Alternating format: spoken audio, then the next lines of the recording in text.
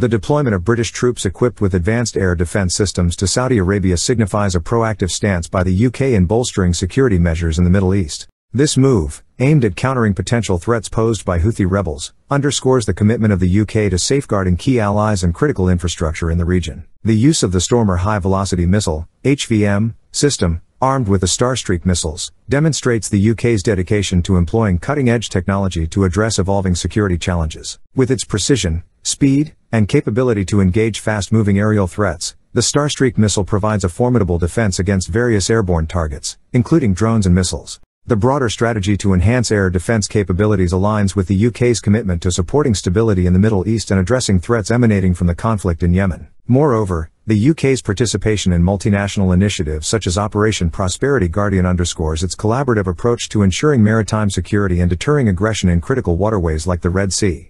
By joining efforts with other nations and leveraging advanced military assets, the UK aims to mitigate the risks posed by Houthi aggression and prevent further destabilization of the region. The proactive measures taken by the UK reflect a comprehensive approach to addressing complex security challenges in the Middle East and protecting global interests.